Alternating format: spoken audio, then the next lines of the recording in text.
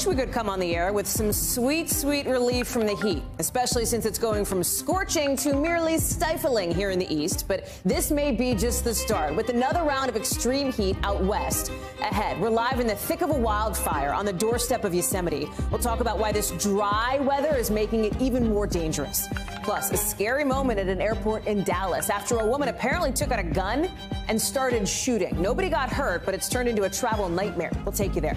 And Indiana, now at the center of this battle over abortion access in this post Roe world, with lawmakers today getting together to talk about a near total ban in that state.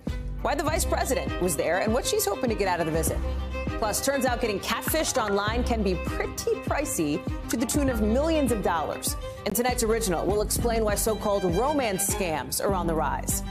And another out of control TikTok trend has people adding a new and not so ideal step to their makeup routine. We'll tell you why it's not so pretty in pink coming up later in the show. Hey, I'm Hallie, and right now this country seems to be stuck in one giant game of Pong because every time it feels like you're getting away from this heat wave, another part of the country gets it, and then it just comes back out to you. That's what we're seeing right now.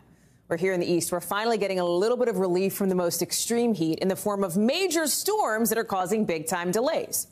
But it's going to be short lived because another dangerous triple digit heat wave is building out west. And you can see the warnings on the map right here, right? Nearly 50 million Americans are under heat alerts, basically. I mean, look at that. When do I play meteorologist? Only when the heat is this bad, gang, okay? Because it could hit the low hundreds in Portland, maybe as high as 115 in inland Washington. Remember, just last year, hundreds of people died in the Pacific Northwest, with scientists back then calling it a once in a thousand year heat wave that might be happening again. Okay, record temperatures are also hitting New England. You've got highs of 90s in Providence and Hartford, even 100 degrees in Boston, where rolling power outages made everything feel worse. New York's on its seventh straight day, hitting above 90. Newark, not too far away, had five days of 100 in a row. And in California, you've got wildfires starting like the Oak Fire, 30 miles from Yosemite National Park. It is now only 10% contained after burning something like 17,000 acres. Thousands of people had to be evacuated. And it was so big that, yes, you could see it from space. Look at that picture. And if you're looking for relief from Washington, don't hold your breath. President Biden's climate agenda is stalled because of West Virginia Senator Joe Manchin. And some on Capitol Hill are pretty ticked off about that. Six House aides actually got arrested for protesting outside the top Senate Democrats' office, Chuck Schumer, demanding that he pick up again on climate negotiations. We're going to talk about this heat with Jesse Kirsch in just a minute, but I want to start with George Solis, who is in the thick of this fire right near Yosemite out in Mariposa, California. And George, you know, part of the problem is it's hot. Part of the problem is it's dry. And part of the problem is that it's super steep. So firefighters, you know, can't get a lot of access from the ground. They've got to come after it from the air.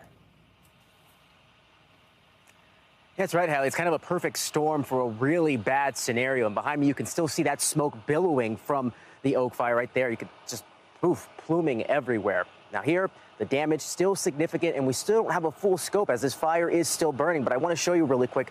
We are on the property of Roger Rodney, excuse me, McGuire, who allowed us to be here to show us, to allow you to show you, excuse me, long day out here, uh, how bad this fire can be when it's been raging. Take a look. This is what's left of his home. Right there, some fitness equipment completely gone. There's a wall there. Looks like that was his stove area. Totally just disheveled. So right now, as you mentioned, the firefighters are dealing with pretty tough conditions right now, right? The terrain is pretty terrible. It's dry out here. There's still some areas that are, you can see some of the hot spots still smoldering. So that's why firefighters right now are still in the midst of this, trying to make sure this fire does not spread specific, specific especially towards Yosemite, because already dodging a big bullet. Hallie? George, um, listen, I totally get it. Long day, long night. It's going to be a long couple of days for you, too, and for these firefighters. How much of a threat is it to Yosemite? Because it feels like we were just talking about a national park for a different climate reason, and that was Yellowstone with all of that flooding that happened, right? Now here we are talking about Yosemite. Um, what's the expectation for trying to get this fire under control and the potential threat to that very popular national park?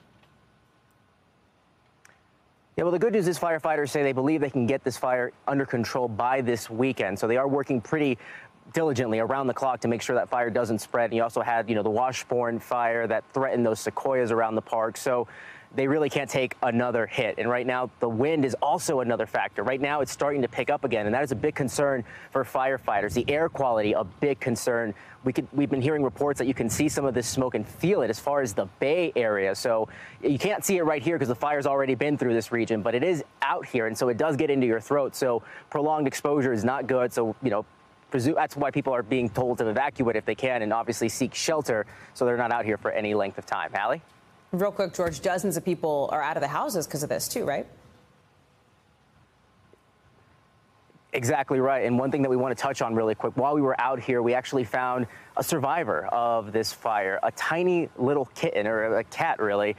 Uh, we were told by the homeowner that there may be a cat when we got to the property. It turns out it wasn't his cat, but this cat totally singed. It's burned its paws. It's been really friendly. Uh, it, it's just so heartbreaking to see that this animal survived through this horrible, horrible situation. And we're going to try and get it some help right away. But one of our uh, audio engineers fell in love with this cat. And good news here, he's decided to take this cat home. So there's a happy ending in all of this. I mean, so many people unfortunately lose their homes, but if we could save at least one tiny animal's life out here, it seems that at least not all hope is lost. Hallie? George Solis, thank you for bringing us that story. Good luck out there. Appreciate it. I want to get to Jesse Kirsch now in Philadelphia. So, Jesse, heat health emergency, okay? Because we talk about this all the time in the show. It's summer, it's hot, it's supposed to be hot, but it's not supposed to be dangerous hot like this, right? But that's what's happening where you are. Yeah, so here in Philadelphia, we're just a couple hours away now, about two two plus hours, just shy of three away from that uh, heat health emergency in Philadelphia set to expire. There's one that was extended in Boston as well, and I can tell you, we've been in Philadelphia since Thursday, and uh, there's a demonstrable difference here now versus when we first got here. First of all, the sun has gone away, and the other thing is something you're seeing coming through right now, which is a breeze, which is something that we really just were not seeing throughout this weekend. And if you you think about that hot, stale air piling on the humidity with the heat index, you know, in much of the country, we're seeing temperatures feeling like with the heat index upwards of 100 degrees. So that's something that we've been dealing with a lot in the Northeast. Now we're getting this cool front coming in, and I can tell you we are feeling it now. At my team out here, I think I speak for all of us when I say we are breathing a sigh of relief because it is finally cooling down here. But of course, coming with that here in the east is some severe weather as the Pacific Northwest now has some of that excessive heat coming its way, Hallie. What are they doing to make sure people are okay there in Philly, Jess?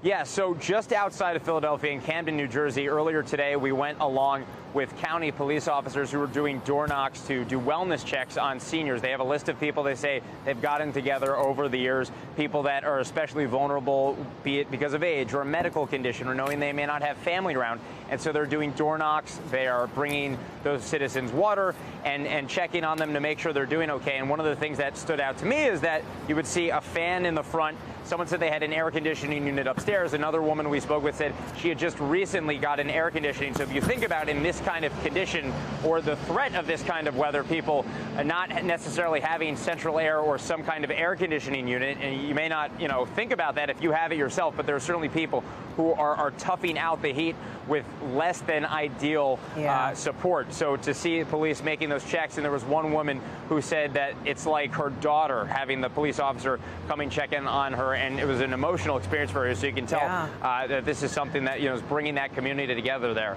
in Camden. Dude, it's like the gold. Right, check on your neighbors. Just make sure people are okay, especially at a time like this. Jesse Kirsch, thank you so much. Appreciate it. Stay cool. We've got some breaking news now to get to you from Washington on the January 6th investigation. And just coming into us in the last, I want to say 45 minutes or so, a source familiar confirms to NBC News that this guy, Mark Short, the former chief of staff to former Vice President Mike Pence, was in front of a federal grand jury here in Washington. Short would be the highest ranking Trump administration official to testify. He apparently did so under subpoena last week.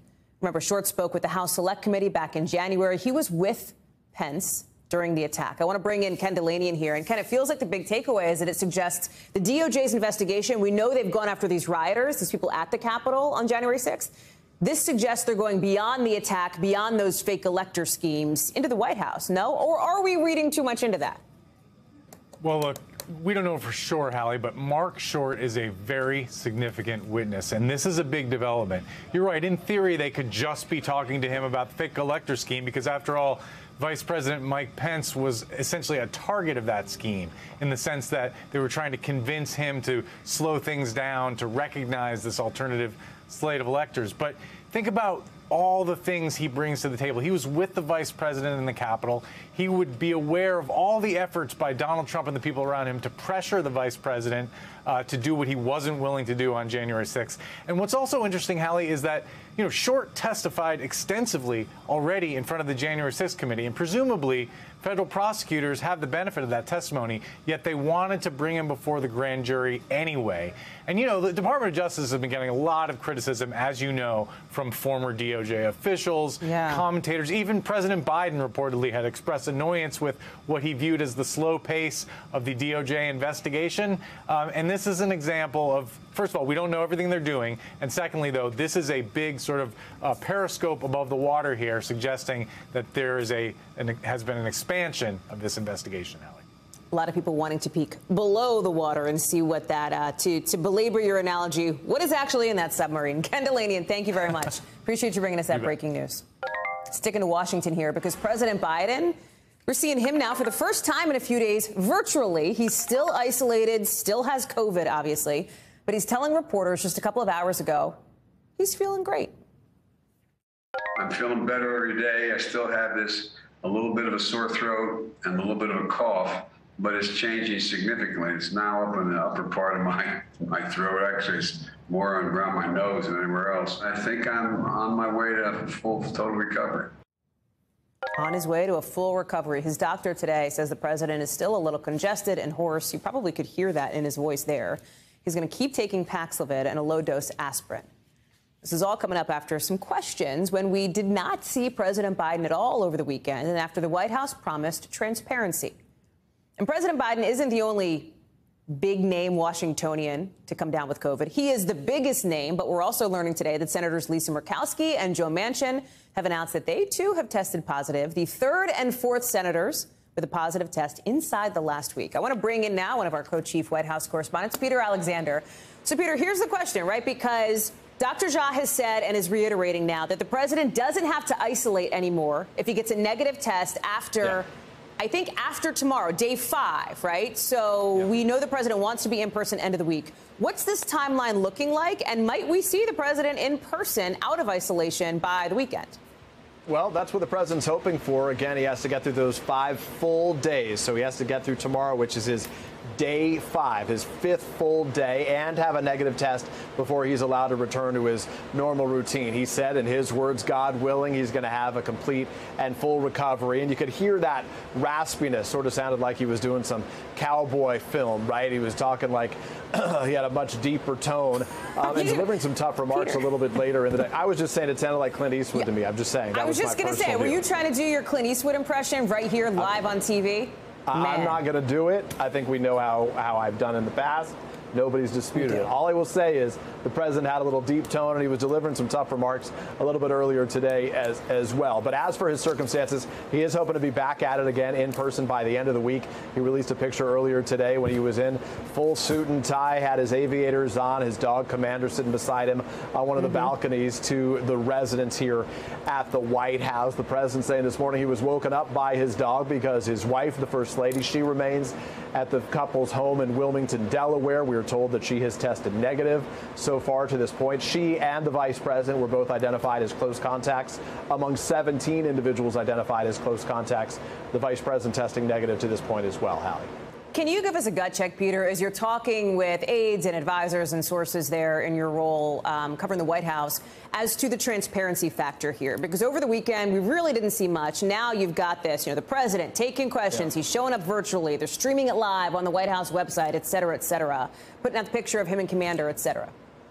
Well, it's a priority to the White House to, to, to, show the president, frankly, looking like he's in charge. They say he's keeping a full schedule. Karine Jean Pierre, his press secretary, said last week that he's doing eight plus hours a day, that he's doing conference calls and zooming into conversations uh, with economic teams, with his economic advisors. They were talking gas prices last week. He was talking about the need for more microchips to be produced in the U.S. today. He delivered a virtual set of remarks to um, a group of black law enforcement executives a little bit earlier when he slammed his predecessor, former President Trump. Clips I know you'll be speaking about over the course of these hours here. I think there was some frustration among some that we weren't hearing directly from the president's doctor. We have heard from the COVID response coordinator, Dr. Ashish Jha, but each day, as per its effort to be transparent, the White House has put out a note from the president's doctor detailing his symptoms, and they do say that at this point they appear to be almost completely resolved. Hallie? Peter Alexander, thank you very much. Good to see you, friend. So let's press pause on the COVID discussion for a second because there's another public health discussion that a lot of people are having, and that is about this monkeypox outbreak, with experts saying we are running out of time to contain it here in the U.S. This comes after the World Health Organization sounded its highest possible alarm about monkeypox, calling it an international public health emergency. But you know who is not calling it that yet? The U.S. government. And some health officials think we are losing some critical time on all fronts. We're talking vaccines, testing, contact tracing.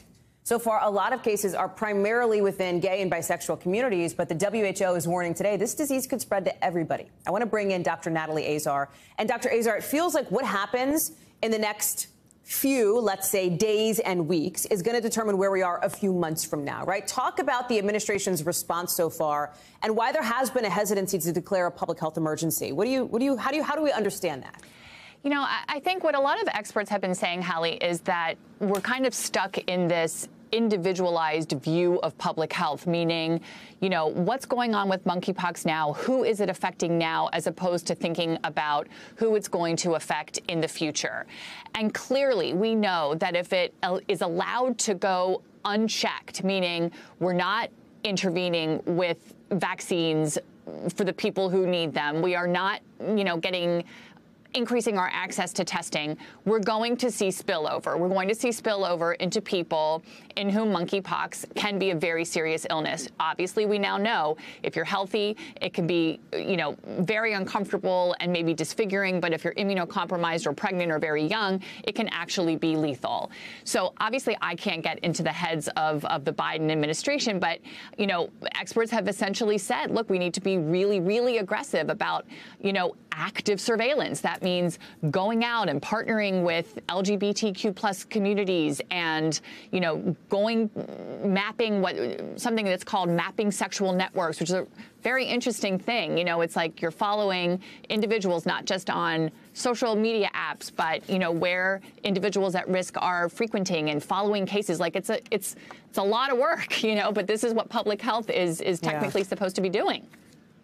Let me ask you about, I think, the question that, that at least people that, people that I know, I think people we all know are asking, which is, you know, we know that two kids, for example, in the U.S. have been diagnosed with monkeypox.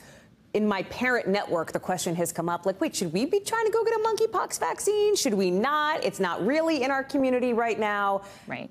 Give us the professional gut check on where we should be on that. Yeah, I mean, look, I, I don't think we're anywhere near um, more widespread vaccination, Hallie. Okay. But that could change, and I think that that's what what is getting people concerned is that you know we're not we're not thinking that this monkeypox is going to really change and evolve. It is what's called a DNA virus. They don't mutate the way COVID-19 mutated to become more transmissible. But yeah, absolutely, you could you could get it, you know, with with household contacts and and in the classroom. And you know, what about a sports team? I mean, we need to be prepared for this, Hallie. For us to just sit here and say, you know, it's only intimate sexual contact and it's only in you know men who have sex with men is so short-sighted. And I think that's why we're hearing and seeing a lot of frustration amongst public health and as well as infectious disease experts um, at where we are right now.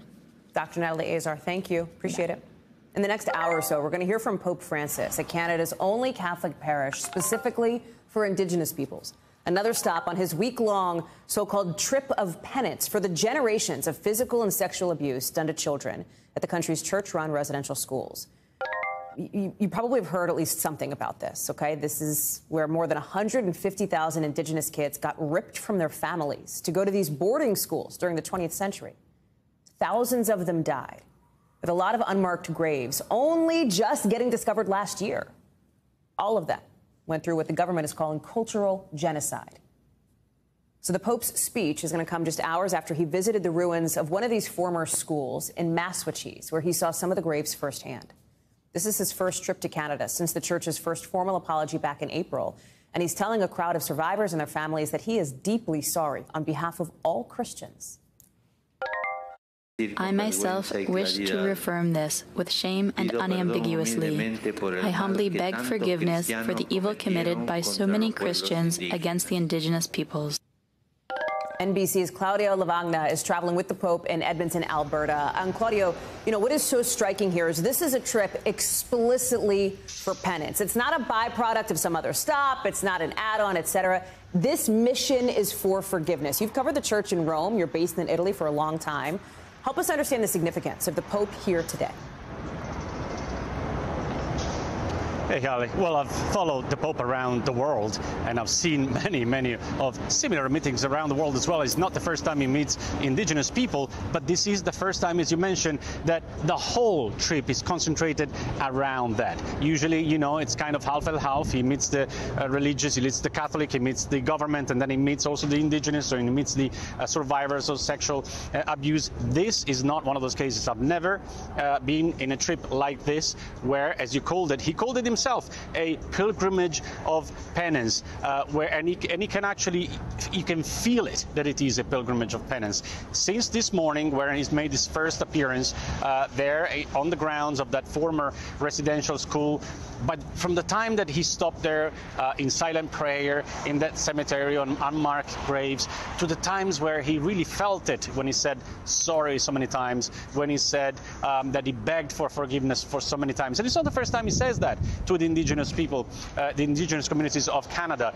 He said sorry at the Vatican, but it's a whole different dimension uh, and it assumes a whole different uh, meaning when he travels all the way here, especially in his conditions. He has, he has mobility problems problems. You can see that. He needs to be wheeled around on a wheelchair because of his knee problems. Uh, so it is very, very significant that he is here and that he's doing what he's doing. It's just the first time uh, this morning that he met with the uh, leaders of the community, of the indigenous communities and the survivors. He will do that over and over again in several parts of Canada, Hallie. The Pope is thinking about more than forgiveness, Claudio. He's saying that he's saying begging pardon, in, in, his words, is not the end of the matter. That's a quote. We've been hearing from people from the First Nations. You've talked a little bit about the response from the indigenous peoples. What are we what are we hearing from them, and what do we expect the church to actually do as it relates to reparations here? Well, that's perhaps the most significant part of his speech this morning. Uh, yes, we were expecting him, we were expecting him to say sorry and beg for forgiveness, but he said, as you mentioned, that asking for forgiveness and saying sorry is only the first right. step. So, what steps are next? He said uh, that he will develop or foster a culture in the Catholic Church uh, that will look after and respect uh, indigenous populations, not only in Canada but also around the world. But at the same time, he also announced some sort of uh, serious investigation, he called it, uh, into what happened in these residential schools from the end of the 19th century all the way to the end of the 1970s uh, in order to also uh, help uh, those who were affected by that trauma, Hallie. Claudio Lavagna live for us there in Edmonton. Good to see you. Thank you. We'll look for more reporting from the Pope's speech later tonight. Appreciate it. Coming up, a conspiracy theorist on trial today in Texas, beginning now that'll determine how much Alex Jones has to pay Sandy Hook Elementary School parents for lying that the mass shooting there was a hoax. We'll talk about what we've learned in court, plus what scientists are saying about a link between napping a lot and high blood pressure. We'll be right back.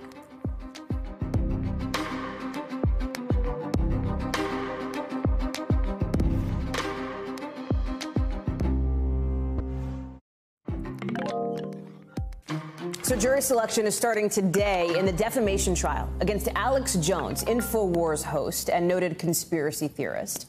And once this jury is picked, they're going to decide just how much he has to pay Sandy Hook families after he lied and said the shooting there was a hoax. He's being sued by some of the families of these victims you see on screen these 20 children, these 20 little kids, and the six adults killed in the 2012 Sandy Hook shooting for saying that the massacre involved actors Jones said, who just tried to basically boost support for gun control in this country. Jones has since acknowledged the shooting did happen, but for some of the families, his lies have affected them in serious and deep ways. the trauma that he imposes, the pain and suffering with uh, with the lies he peddles. You know, to say that Sandy Hook was a hoax and it never happened, uh, it's an outright lie. So today, at jury selection, some of the potential jurors, some of the people being interviewed, talked about this. One person said monetary compensation does not replace life. Others talked about how they believe in free speech, but some said people who have big followings should be held accountable. Courts have already found Jones liable for defamation. NBC News has reached out to Jones' team for comment on the suit and today's trial starting, but no response as of now. Let me start with Rehema Ellis. This, you know, we've covered this here on the show, Rahima. This trial delayed and then delayed again. It was supposed to start back in April. Talk to me about what stood out from today and this jury selection situation. It seems that the uh, lawyers in this case are trying to decide, particularly the lawyers for the parents of the children who were murdered, are trying to decide whether or not they can get 12 jurors who will be unbiased. If not decide whether or not Jones is liable or not, that's already been determined. But whether or not they can follow the facts, the law, and the instructions from the jury.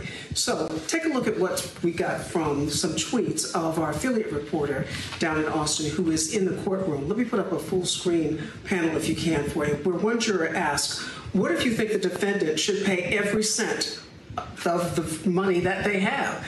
then this is what a juror is asking. And so whether or not that person is allowed on the jury is questionable.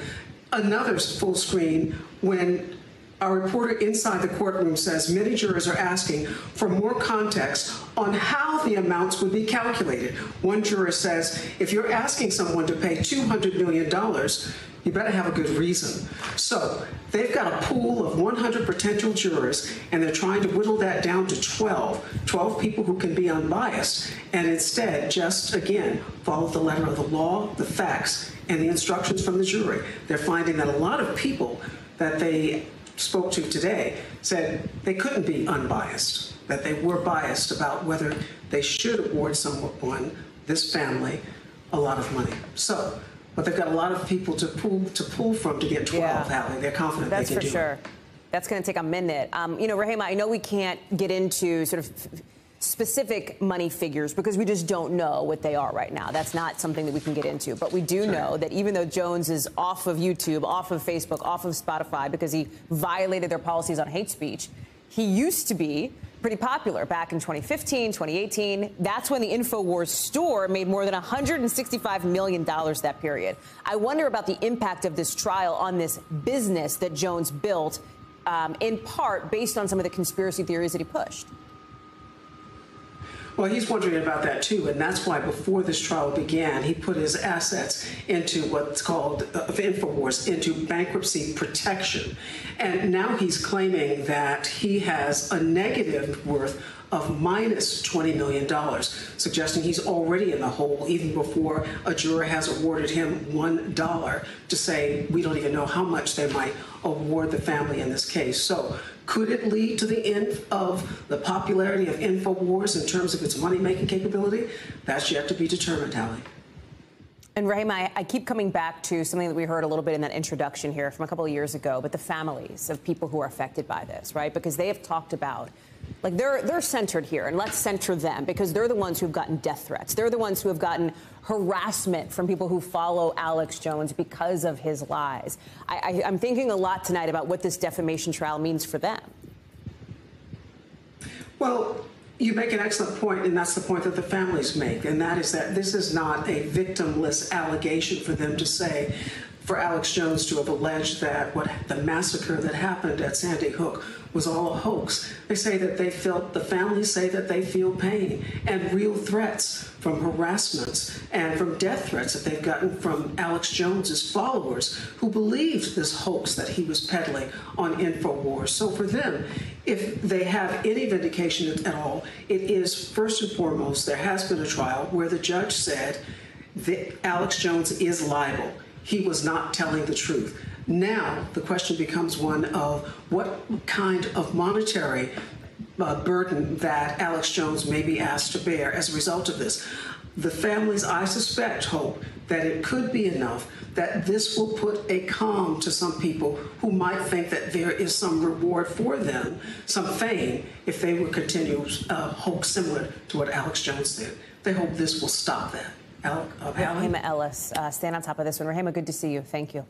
Let's get you over to the five things our team thinks you should know about tonight. Number one, officials in Canada say a man who was targeting homeless people shot and killed two men in a suburb of Vancouver today before being killed by police.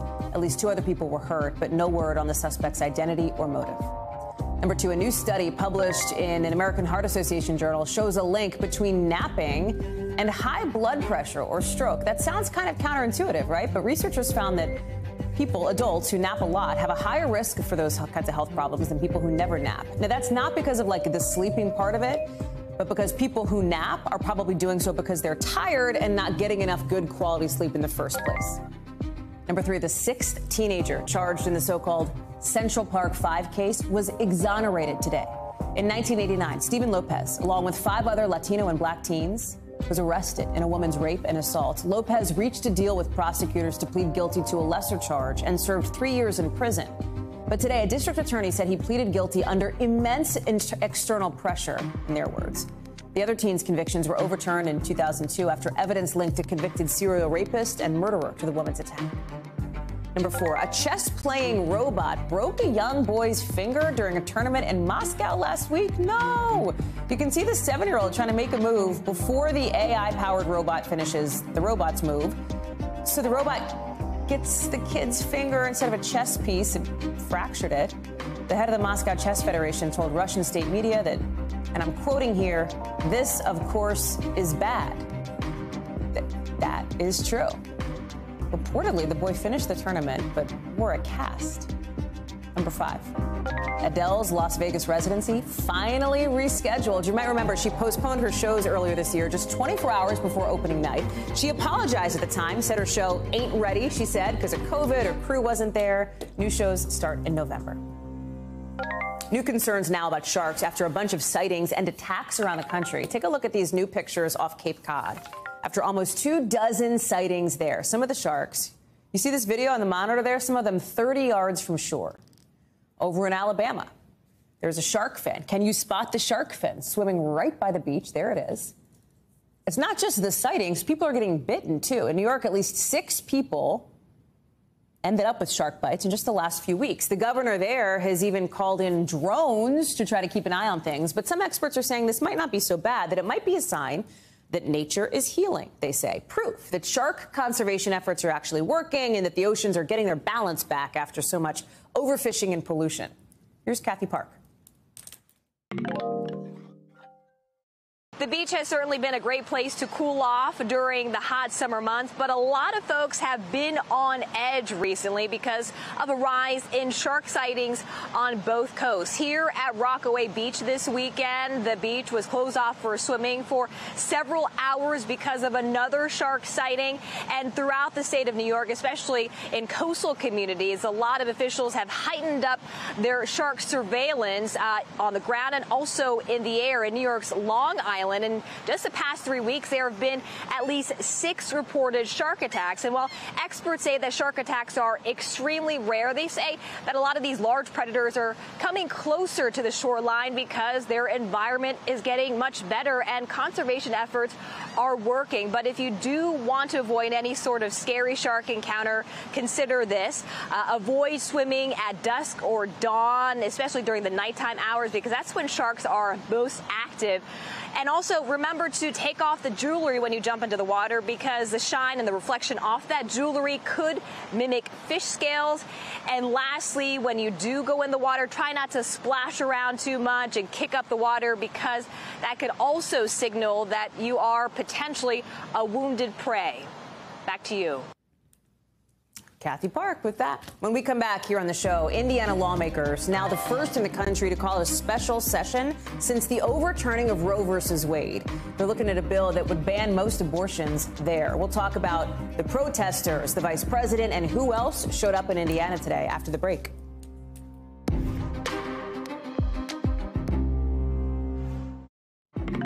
To Indiana now, a state that is ground zero, becoming ground zero for the fight over abortion access in this country. Because not long ago, we saw day one of a special session wrapping up with lawmakers looking at a bill to ban nearly all abortions in the state with only limited exceptions. Why is this a big deal? It's the first special session like this since the Supreme Court overturned Roe versus Wade, that landmark ruling that had protected abortion rights in this country up until just recently. And that's why you saw scenes like the ones that you're looking at. However, you're looking at it, dozens of people showing up at the Capitol in Indianapolis to protest this bill. Vice President Kamala Harris, she was there too, talking with state legislators on this fight to protect reproductive rights. And as that was happening, this split screen moment with this, a case that is in the national spotlight being heard in court. You're looking at the accused rapist of a 10 year old girl who police say had to travel to Indiana from Ohio to get an abortion. I want to bring in our Shaq Brewster to talk about this. So, Shaq, let me start with what happened at the State House here, because as we said, this was the beginning, right, of a state that we're seeing the first time that a state went into special session to look at banning abortion. Talk about what we've seen today, the timeline, because I think Republicans, and I talked with the top Democrat in the House today in that Indiana State House, Republicans have a supermajority. There's only so much Democrats can do. That's exactly right, Hallie. And the House will likely take this bill up next week. But today it was the state Senate taking up this piece of legislation that would effectively ban abortion in the state of Indiana. Now, it's a near total ban. It's not a total ban because of some exceptions that are included in the proposed legislation, exceptions for rape, incest, for the life of the mother, or some fetal abnormalities, but this would definitely be a rollback of the abortion protections that women in Indiana have had for some time. And that's why you have those scenes that you're looking at on the other side of the screen there. The protesters that came out, I'll tell you, those protesters seemingly numbered in the hundreds uh, when you combine the protests that you saw both inside and outside. And then you also had that visit from Vice President Harris, who met with lawmakers, had a roundtable with a few dozen lawmakers, and acknowledged the fact that, yeah, at the federal level, they're limited in what they can do to protect women in the state of Indiana. But she wanted to lend her support for women in that state and for the lawmakers who are fighting against that legislation. Listen a little bit to, uh, uh, to, of her message to how she set up the stakes there. The parameters that are being proposed mean that for the vast majority of women, by the time she realizes she is pregnant, she will effectively be prohibited from having access to reproductive health care that would allow her to choose what happens to her body. Now, based on the latest schedule that we saw, it seems as if the Senate will likely vote on this at some point by the end of the week. They're also considering legislation to support families, in the words of the Republican lawmakers, providing about $45 million for things like maternal assistance and for increasing the adoption tax credit. But it's that restriction on abortion that is, without a doubt, Hallie, the most controversial part and for the piece sure. that's getting the most attention. Let's talk about this other piece of this, right, Shaq? Because as this was going down, there was another nexus to Indiana as it related to the arraignment of the suspect accused of raping yeah. this 10 year old girl who police say got an abortion, traveled to Indiana, became pregnant, and traveled to Indiana to get an abortion. This has become, this particular case, a kind of flashpoint here nationally. We've heard President Biden talk about it. We've heard a lot of high profile politicians cite this case, talk about the court proceedings today. That's right. She traveled to Indiana because of the restrictions that existed in Ohio. But today we saw that 27 year old man, the suspect in this case, accused of raping a 10 year old, Gerson uh, Fuentes. We saw him in court uh, appear before a judge. He appeared via video. We didn't hear from him at all. Uh, and we saw him in handcuffs. There was a translator also present. But through his attorney, he entered two not guilty pleas for that felony rape of a child under 13 years old. That's a charge, Hallie, or those are charges that carry a maximum life sentence and a minimum sentence of about 10 years for each individual charge. So these are very serious charges, but they're also getting wrapped into the debate that you're seeing not just in Ohio where this case is occurred, but where in but also in Indiana where you have lawmakers working to restrict the access that women there have to abortion. Shaquille Brewster, thank you so much, Shaq. Good to see you. Coming up, flights grounded at an airport in Texas today after a woman straight up opened fire by a ticket counter, just started shooting. We're going to give you a look at some of those scary moments. Plus, A bishop and his wife robbed right in the middle of a live streamed sermon. How much the thieves got. Look at this and more ugh, coming up in just a second.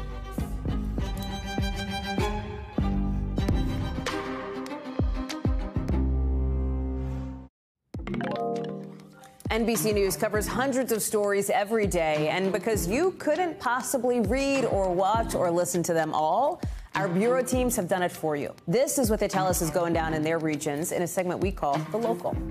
From our Northeast Bureau, New York City Police, you have to look at this video because this is legit bonkers. They say a, a bishop in Brooklyn was robbed at gunpoint. Look at this, right in the middle of a church service that was being live streamed. You, you are you are watching this. These three gunmen, I guess, allegedly stole something like four hundred thousand dollars worth of jewelry from Bishop Lamar Whitehead and his wife, including they took his wedding band. Nobody got hurt, but the bishop said his congregation was traumatized. Police are still investigating this whole thing. Also, from our Northeast Bureau, what looks like a humpback whale. Check this out: breaching the water, jump, you know, kind of getting out of the water and landing right on top of a boat off the coast of Plymouth. There it is. See that? Basically dunked the front of this 19-foot boat. The, uh, you know, the front of the boat pops up again. Officials say nobody got hurt, but the boat obviously got a little bit of damage. Not too much, though. From our West Coast Bureau, a woman got hurt after getting too close to an endangered monk seal and her pup. Our affiliate in Hawaii reports she was in an area that was roped off.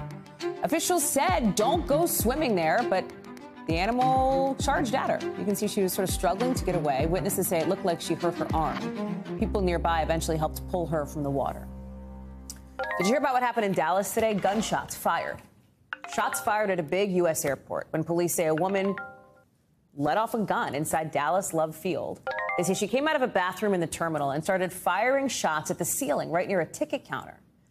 Look at some of these people. People start hiding, people start running right? A police officer ended up shooting this person with a gun. She was taken to a local hospital, but the terminal was evacuated. The FAA issued a total ground stop. Transportation Secretary Buttigieg, Pete Buttigieg, says his department and the FAA have reached out to locals about this. I want to bring in now Priscilla Thompson. And Priscilla, you are there. Talk about where the investigation stands now. This is so strange. Did police have a motive for the shooting? Do we know what else happened or what we're hearing from folks there?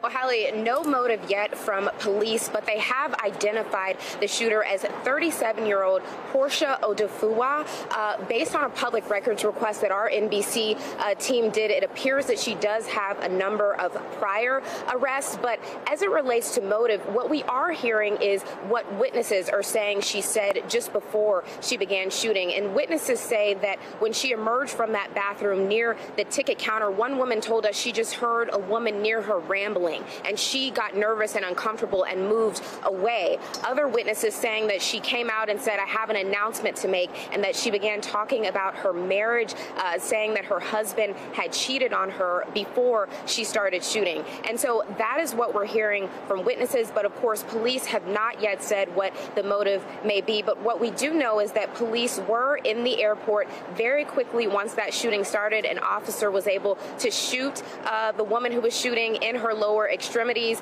and she was the only person injured in this incident. There were no other people who were in the airport that were injured. They took her into custody, took her to the hospital, and right now the FBI and Dallas police are still investigating, um, hoping to get an update from them tomorrow with more information about why this may have happened um, and really any other insight they can share about this really a bizarre incident that certainly scared a lot of people here at the airport today. Priscilla, you know, the, a bunch of people had to evacuate. You had um, the regional TSA tweeting because of this, uh, everybody had to go out, come back in, be rescreened, no exceptions. Has there been a domino effect on flights um, and on people trying to get where they're going at this point? Absolutely, Hallie. We're talking about 900 plus flights that were delayed, 200 plus that were canceled. I can tell you, I came, I flew in uh, from Houston to a nearby Dallas airport, and there was a lot of commotion at the terminals that were supposed to be uh, heading here and the gates that were supposed to be heading here with people trying to figure out what they were going to do. And for the folks who were inside when that shooting happened, uh, it was chaos. They all had to be evacuated. They were sequestered outside in this, what is now triple triple digit heat as TSA worked to get them all back through security screening and get them back onto those flights to get where they're going. I will say, as I was coming in, I did see some Southwest flights taking off, so it appears that things are beginning to get back on track. But still, a lot of people are, are scared and shaken up by what they saw and experienced today. We spoke to one woman, and I want to play a little bit of what she shared. I have a three and a five year old little boy, and it just frightens me. I I was so relieved they weren't with me, and yet now I'm afraid to even go to Disneyland in a few days when we drive down Highway 1. So the good news is folks do seem to be getting out, but still uh, a lot of fear, a lot of concern over this just crazy incident that happened here today, Hallie. Priscilla Thompson live for us there in Dallas. Priscilla, good to see you. Thank you. To tonight's original now with in-depth reporting on a topic we've been keeping an eye on. And let me set the scene for you here. You're on your phone, right? You're swiping around on a dating app, and oh, hey, you connect with somebody. You are vibing. This conversation is going well. You are into this person, so you don't even think twice when they ask you for some cash. Maybe you fork over a couple bucks and a couple bucks more, and then pretty soon, guess what? You've been scammed. There's a name for it, a romance scam, where these people use fake identities to try to win over your trust. They try to get the affection of potential partners. Usually people agree to transfer money as a favor to this, like, you know, fresh, lusty love of their life who's in a sudden financial bind, according to this new Federal Trade Commission report. Romance scams surged in the pandemic. They hit a record high in 2021, with people losing something like $550 million, up nearly 80% from the year before. NBC's Jake Ward is taking a look at these new numbers. He has more. Wendy, a 75 year old widow from Los Angeles, says she was recently approached online by an attractive older man. He claimed to be an executive chef and he had just signed a contract for a, a cruise line that was going to take him out of town. I believe it was for about six weeks. But soon, she says, he had tricked her into buying him gift cards he could turn into cash. I wanted to believe and I wanted to help this new person that had just made me feel so good. Jane Lee, a cybersecurity investigator, knows this story well. They initially shower their victims with compliments. They quickly move the conversation over to an encrypted messaging platform. He wanted to transfer our dialogue onto Google Chat. Experts say it is always headed the same place. I, I think all scams in general lead to money. He claimed that he had an account with a company similar to Dropbox and that he had forgotten to pay his annual premium. Wendy spent about $1,000 before she figured things out, and that's pretty good compared to other victims. The FBI estimates that in 2021, more than 24,000 people, women and men, lost an average of more than $40,000 to online romance scams, a billion dollars overall.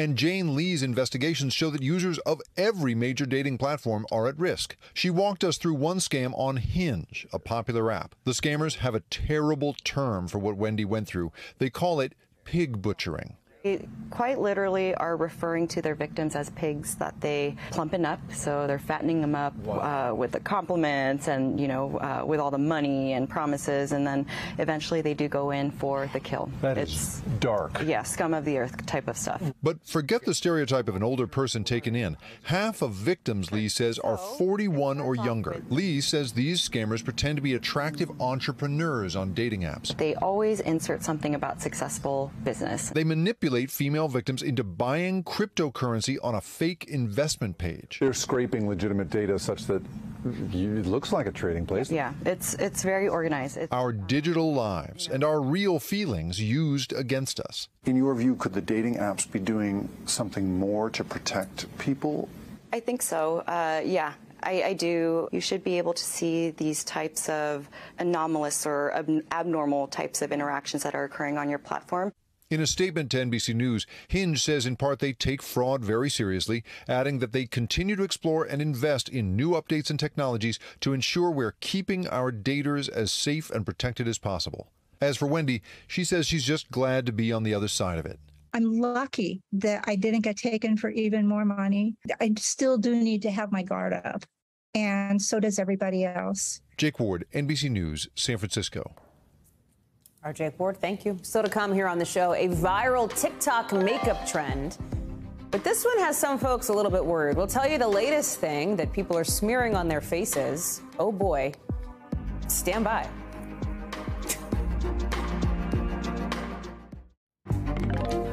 So, what are people smearing on their faces to try to look super hot on TikTok? Um, calamine lotion, the thing that you put on your poison ivy to make your itches go away. Now it's like a big hot makeup trend, but some doctors are like, people, what are you doing? This is not great. Look at this, right? You've got all these influencers slathering it on as like a primer, right? So it's a primer that goes underneath your makeup. The hashtag Calamine Primer has three and a half million views and counting. That is a bananas number of views for a beauty hack, quote unquote, that doctors say is like not so great of an idea. And it's so popular that if you go to the store, like some people are reporting they need calamine lotion because of chickenpox or poison ivy or whatever they cannot find it because people are buying it up to use as makeup. I want to bring in our internet and culture reporter, Kalhan Rosenblatt. It doesn't even make sense, Kalhan. And let's be like, let's be honest. We, we haven't. You're not going to like get liver disease if you use this, right? There's not like some awful, harmful, dangerous thing. We're not trying to like overstate it, but it's like kind of bizarre. It's, it might give you wrinkles, doctors say. It could actually dry out your skin even more, antithetical to the point of what these people doing it for makeup wanted to do. Absolutely. And Hallie, I mean, it's a short term, like great beauty hack because it mats out your skin, makes the makeup go on really smooth. But if you suffer from, you know, large pores, dark circles, scars, doctors say it can actually make all of those things like way worse. So it's going to be, as you said, antithetical to the point of why you're using the makeup. If you're going to make all those issues worse, just stick with it with a dollar store primer. It's it's much better than putting calamine on your face. And it's not like this is the first time we've seen a TikTok trend take off. I think about you know, some of them are harmless. Lettuce water at night to help you sleep. Like drink lettuce water. Some of them are weird with like the cinnamon stuff. This this happens a lot here. Totally. And Hallie, you know as well as I do, we live in, in an attention economy where when you see something going viral, you see something that sounds like a good hack, you're going to start engaging with it. When you engage with it, you see it more. When you see it more, it starts popping up in other people's For You pages, and it'll jump to other sites like Twitter, where this hack is also spreading. I mean, we, we live in a place where not only do users know that a good hack will get attention, the algorithm knows, and the algorithm is what's going to keep pushing it forward. And you know, TikTok, for, for the most part, when a when a, a challenge is very dangerous, something like the milk crate challenge, they're pretty good at removing it immediately and not letting other people share it. But these these hacks that are you know a little less dangerous that may just uh, involve scarring or darkening of dark spots, that's they're a little less stringent about that. So you're going to see these things blow up again in this attention economy where the algorithm is going to show you what is engaged with most. Kalhan Rosenblatt, thank you very much. Appreciate that. Before we let you go, we want to let you know about tomorrow because we will have an interview you will see only right here on this show on NBC News Now. And that is my conversation that I just wrapped up with American Trevor Reed, who was released from Russia in a prisoner swap earlier this year. We talked about the other Americans detained there, what the White House is doing to get them out, and how his life is slowly starting to return to a new kind of normal. That's tomorrow, right here on NBC News Now, 5 o'clock Eastern, wherever you get your stream. That does it for us. I'll see you here then, same time, same place. Coverage picks up right now.